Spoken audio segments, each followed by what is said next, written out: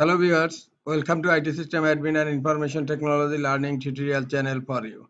Today in this tutorial I am going to show you how to fix File Explorer lagging or slowdown.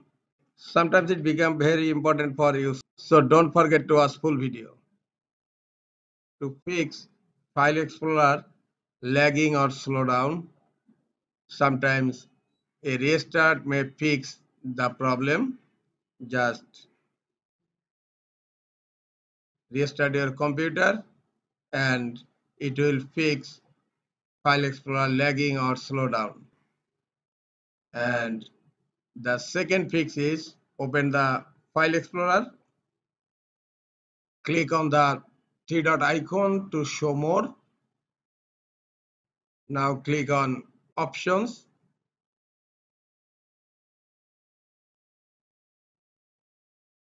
Here under privacy the third option is show files from office.com. Just uncheck this option. Now click on apply and then click on OK. Hope this troubleshoot will solve your issue.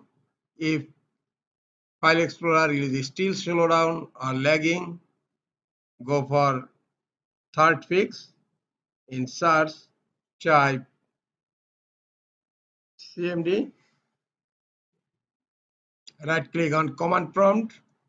Click on run as administrator. Click on yes. In command prompt type sfc space slash scan now. Now hit enter. And after completing the scan you need to restart your computer.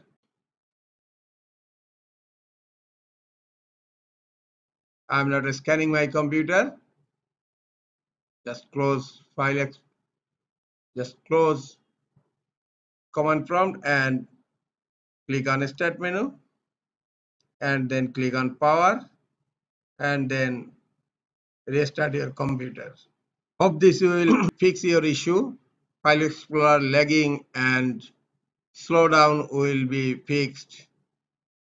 This is all for today. Hope this tutorial is helpful for you. Keep watching for next tutorial. Thank you very much.